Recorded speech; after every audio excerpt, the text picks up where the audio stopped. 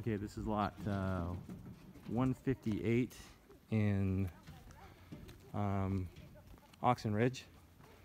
And this is a sanctuary spec house um, under construction right now.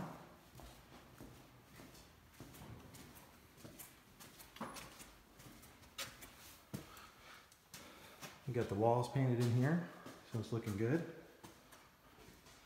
You got the cabinets installed. You got some white cabinets. Nice. You got some. Uh, the wall looks like um, going to be like a gray, kind of a gray tone wall. Very nice.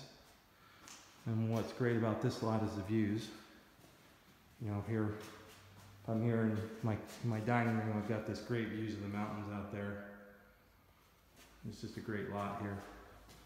Let's go ahead and get out on this large back patio here.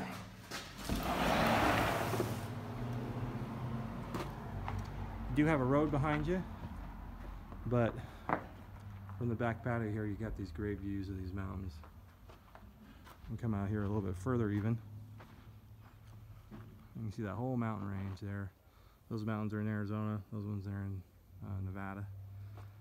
And then you got this mesa over here. You got a great, you get a great uh, view of the sunset here in a half hour or so. But uh, lot 158, sanctuary.